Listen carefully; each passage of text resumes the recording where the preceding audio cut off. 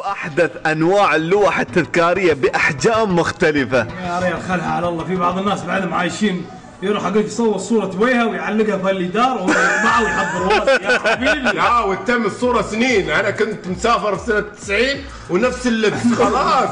حمد كل شيء تغير. اتطور. التكنولوجيا تغيرت. ذكريات تقدر توفرها أكثر تبغى. تعكس في اللوحة التذكارية هذه مثلا عيد زواجكم؟ يا سلام. فكرة مثلا. أيوة، تبغى مثلا؟ ها؟ أيوه. مناسبة مولود. مولود. مولود جديد. ولد ولا بنت؟ أنا احس توام لا أشوف. أنا أقول ولد. و- هذا ولد. وياكم الله يبارك فيك هدية بس. الشيء الجميل حمد تقدر تحط كل المراحل فيديو كامل عن هذا المنتج. يا الشيء سلام. الأجمل. إي أكثر عن نوع.